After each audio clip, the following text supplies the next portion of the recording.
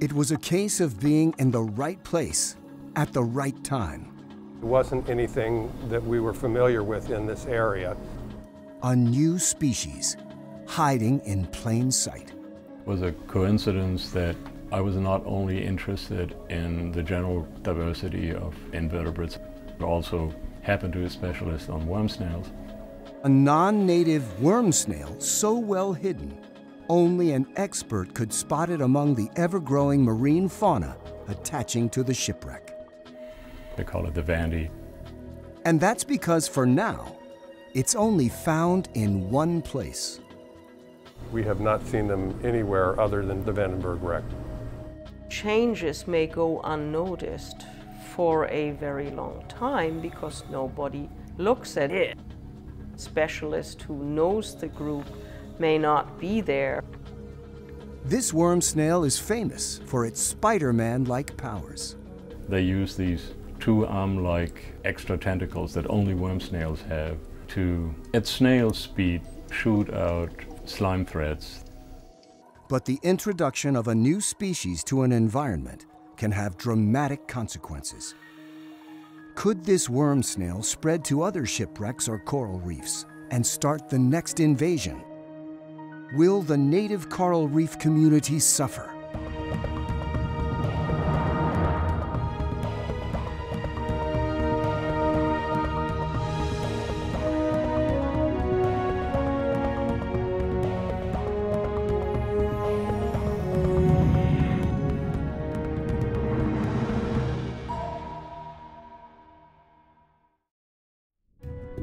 Major funding for this program was provided by the Batchelor Foundation, encouraging people to preserve and protect America's underwater resources, and by Divers Direct and Ocean Divers, the Do Unto Others Trust, the Charles N. and Eleanor Knight Leigh Foundation, and by the following.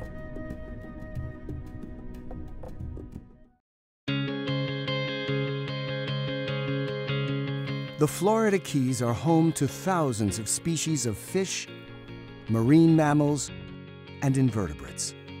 Over 2 million visitors come to the Keys each year, many of them to enjoy water sports like fishing, boating, and scuba diving. Within the Florida Keys lies a 2,800 square nautical mile area known as the Florida Keys National Marine Sanctuary. It reaches out into the Atlantic Ocean, Florida Bay, and the Gulf of Mexico. The Florida Keys National Marine Sanctuary has been in place since 1990. It was the first sanctuary to be established by an act of Congress. The sanctuary was established in response to the decline of the coral reef ecosystem in the area. Its creation protects the coral from damaging activities like oil exploration, mining, or any type of activity that could alter the seafloor. Here in the Keys, we have the world's third largest barrier coral reef. We have a tremendous amount of diversity. We have so many things to really celebrate. Yes, our corals are in trouble. They're in trouble around the world, but we're still seeing a lot of things that attract divers. One feature attracting divers to the Florida Keys National Marine Sanctuary is the Shipwreck Trail, a chain of nine wrecks dotted along the Florida coast. The last ship to have been added to the trail was the deliberately sunk USNS General Hoyt S. Vandenberg in 2009. It's located just seven miles off of Key West. One of the goals for this wreck was to take pressure off the natural reefs. The reason that we were looking at the Vandenberg and these other ships as important tools for management is that our reefs around the world are in trouble. We're in trouble with climate change, pollution, land-based source of pollution, habitat loss and destruction, overfishing, invasives. All these things are affecting our coral reefs. So why not try to put some places out to attract divers to where they can go, where it's a very hardy site for them to dive and explore. After the Vandenberg went down, it became one of the most popular dive sites in the Florida Keys and a brand new hotspot for the local fauna and flora to explore and colonize. No one could have predicted that it would soon also host an unwelcome guest, one that may harm the native marine ecosystem.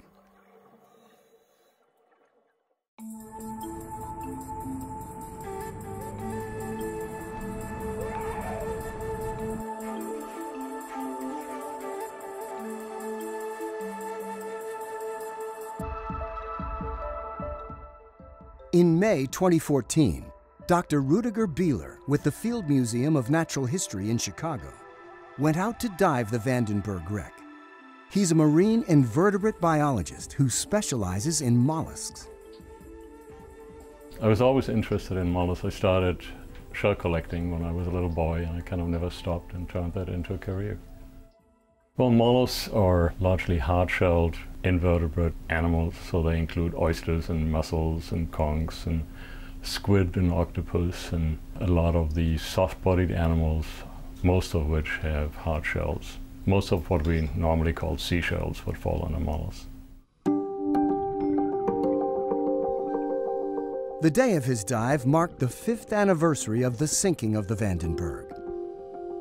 Rudiger wanted to see what species were now living on the wreck.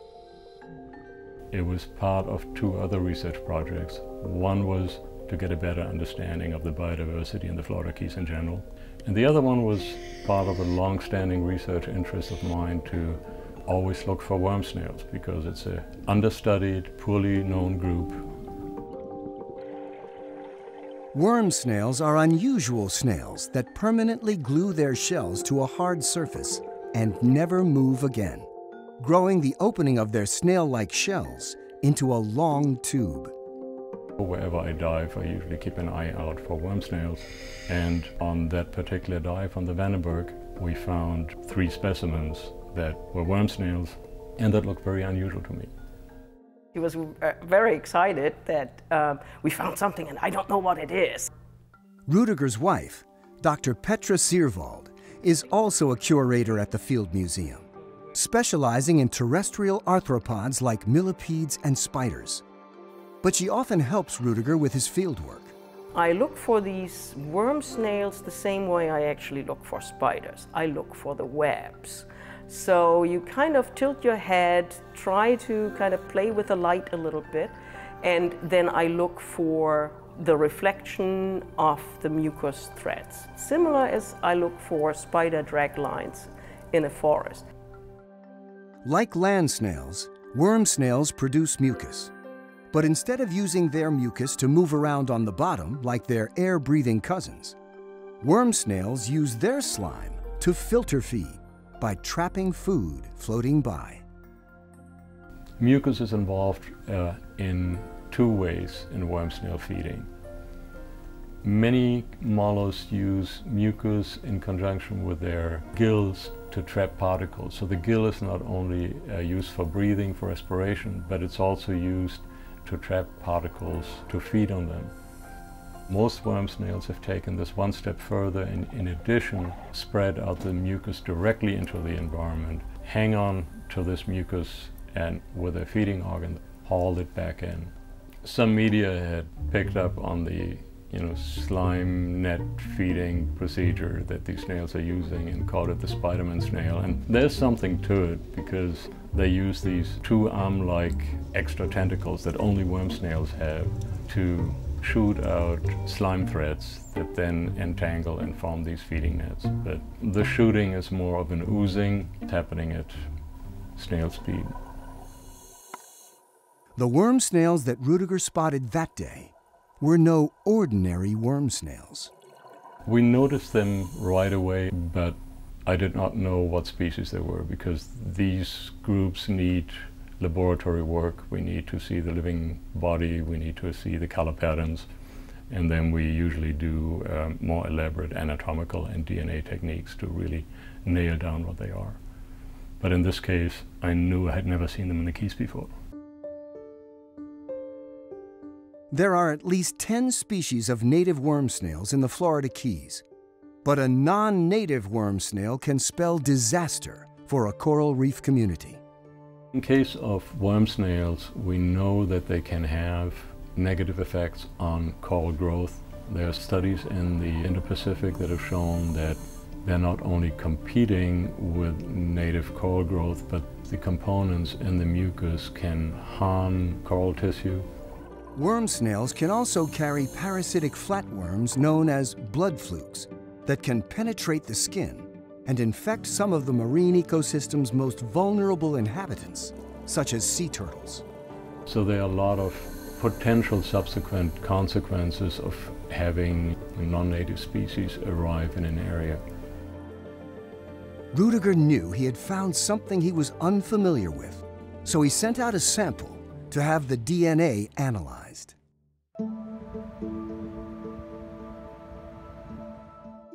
Dr. Tim Collins is a professor of biological sciences at Florida International University. His specialty is using DNA to figure out how closely two organisms are related. So we've been working together for over 20 years now. When Rudiger first discovered the unusual worm snails, he contacted Tim right away. At the time, there were three very different color morphs, and so he wasn't sure if they were three different individuals of the same species or three different species. There was a gray one, a very orange one, and then a sort of mottled one. They really, they looked quite different. We found a couple of things out immediately. One, it wasn't anything that we were familiar with in this area. And two, that the three very different looking color morphs were actually all the same species. This is one of the, the sort of payoffs of a long, careful analysis of the fauna of a particular region is you can recognize when something new shows up. And so we could tell right away that it was something we hadn't seen before. Using a family tree, Tim discovered that this worm snail was most closely related to a Pacific species of worm snail. And since it had never been described before, Rudiger had the honor of naming it. So when we named the species, um, we had no choice in the genus name, Thylacodes, and we determined that based on study of the anatomical and molecular data. We knew it was related to other members in that genus. But we had free choice in naming the species, and we named it after the common name the scuba diving community has given to the wreck of the Vandenberg. They call it the Vandy, so it became Thylacodes vandiensis. The next question was, were these worm snails here to stay? Another dive, less than two years later, surprised Rudiger. The Vandy worm snail population had exploded. Well, during that first dive, we found three. When we went back about a year and a half later in 2016, we found that the rails of the ship were covered in them, so we found thousands. The railings were just slime covered. I mean, they were just slime covered when we were down there. It was kind of the first indication that something was happening very fast and that they had the ability to colonize a new area very quickly.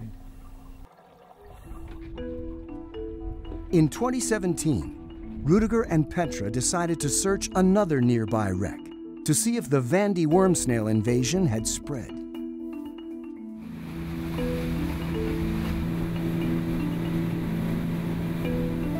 We're at the site of the Adolphus Busch, a ship that was scuttled here in 1998. So it's been 19 years since it went down, so there's a lot of growth on it at this point.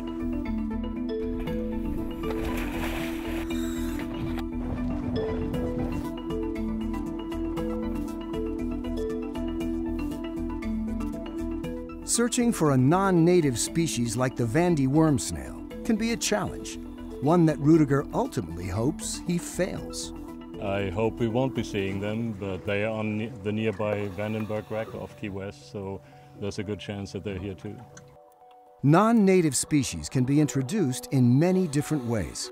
Sometimes animals are released from fish tanks, and sometimes they're accidentally released from the ballast water of ships, the water sucked into large ships to balance themselves. Scientists have also found non-native species floating in on debris.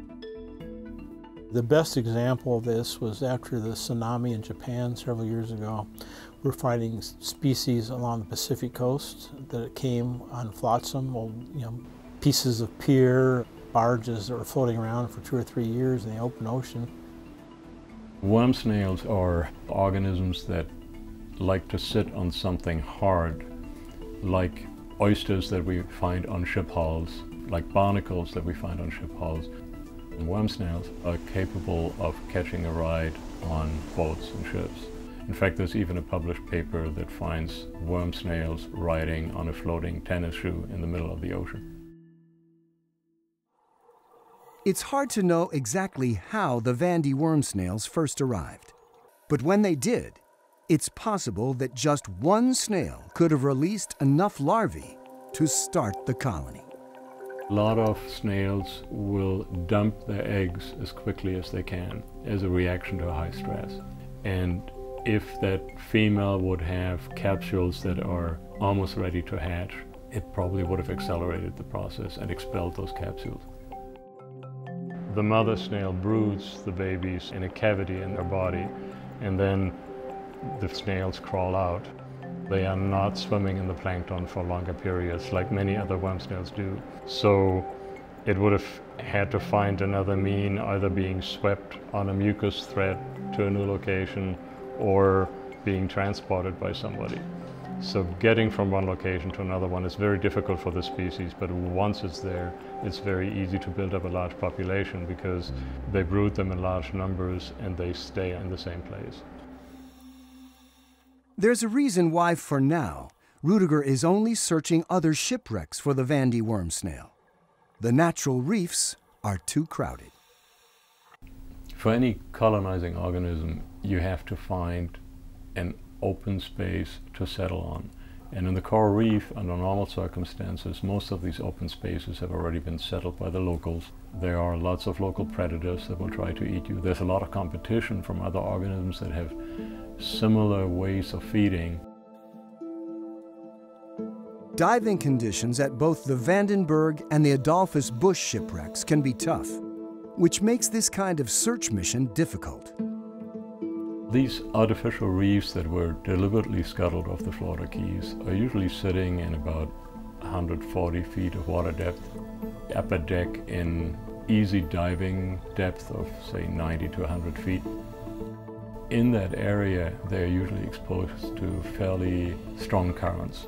And since these animals feed in the current, they like to sit in reasonable current, but not too strong a current. And that's probably a good explanation why we find them in particular parts of the ship.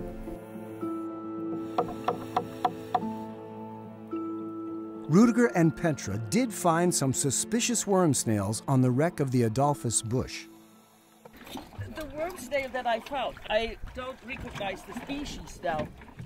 It might be Vandy, but I have to put it under a microscope. It's too Okay. small. But it is alive? It's alive. Okay, it looked dead to me, but No, no, it might be the Vandy snail, which would be the first record on the Busch. They carefully transport the worm snail back to the lab for a better look.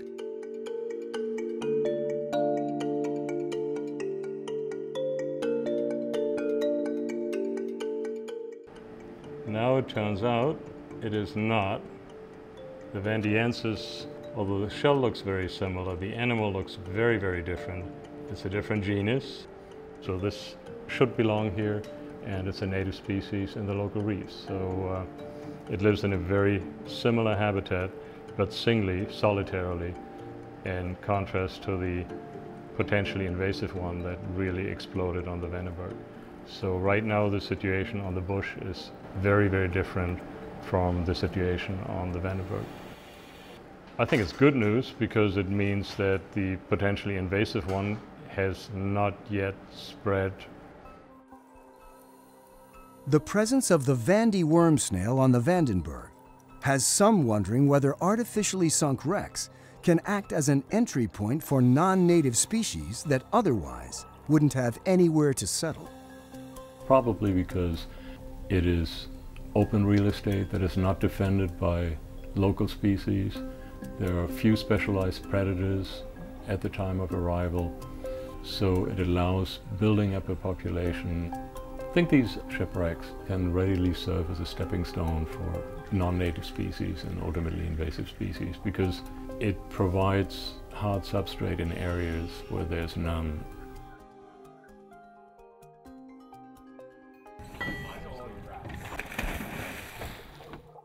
In 2017, three years since the initial discovery of the Vandy worm snail, Rudiger and Petra didn't know what they might find on the Vandenberg.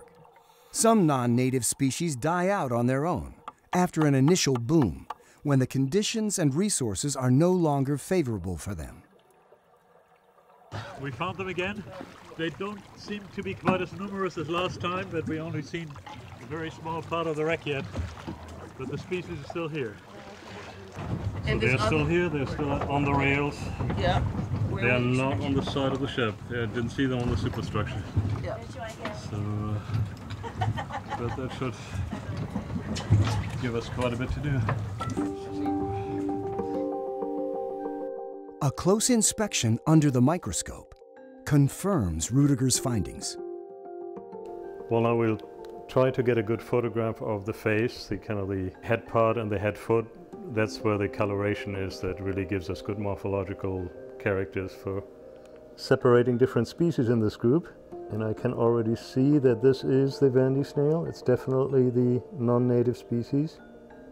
You can see both sets of tentacles and the flat foot that has no covering, no operculum that many of the other species have in the area. And here it is. So it's definitely Thylacodes vandiensis, the species we expected on the wreck. Only time will tell whether the Vandy worm snail's appearance in the Keys will lead to a harmful invasion. But Rudiger is more concerned about the bigger picture.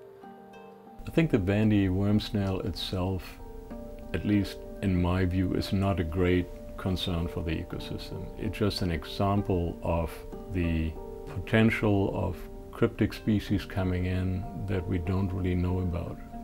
And the potential of downstream effects on the natural reef that we might not catch in time.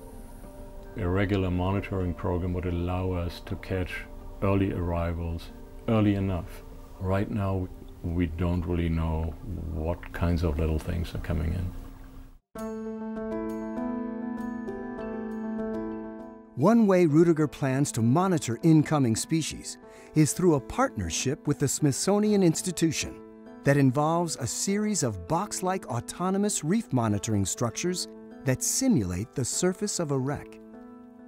And these are small plastic contraptions that are maintained in the reef for a few years and then get harvested and then every animal or plant that has settled on these plates can be analyzed in a qualitative and quantitative fashion. So these units are used all over the world so we can compare the diversity of the Florida Keys to the diversity in other reefs around the world. And that gives us an idea of who's settling first, non-native species arriving on these plastic surfaces. The mysterious appearance of the Vandy worm snail highlights the importance of regular monitoring of shipwrecks and reefs for new species. The autonomous reef monitoring structures will allow Rudiger and others to carefully examine new growth in the lab and to call on experts who might be able to recognize the organisms he can't identify on his own. Considering the great diversity of invertebrate species in the Atlantic, it is no surprise that when a specialist looks at a particular area that he or she would find something unusual. And in this case, our team had looked at the molluscan diversity in the region for quite some time, and I happen to be a specialist on these weird little worm snails. So when I looked at those more closely, I recognized them as unusual. But I would think that if somebody looked more closely at the small-bodied barnacles, at the little worms, at the sponges that are growing on these shipwrecks, there would be more surprises and perhaps more discoveries of non-native species.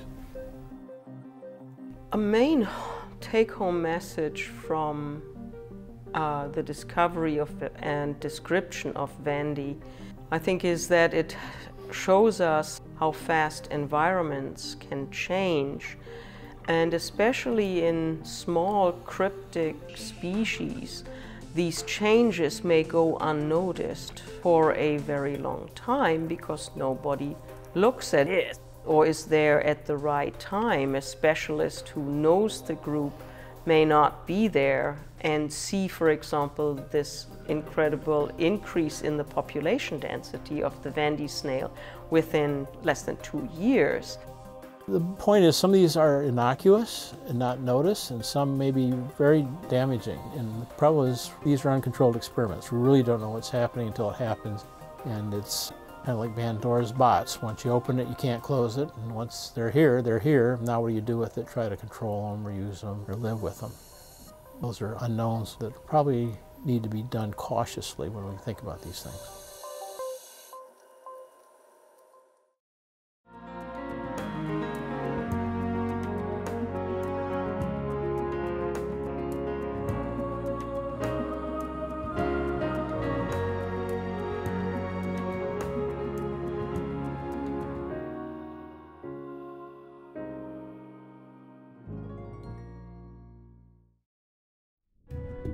Major funding for this program was provided by the Batchelor Foundation, encouraging people to preserve and protect America's underwater resources, and by Divers Direct and Ocean Divers,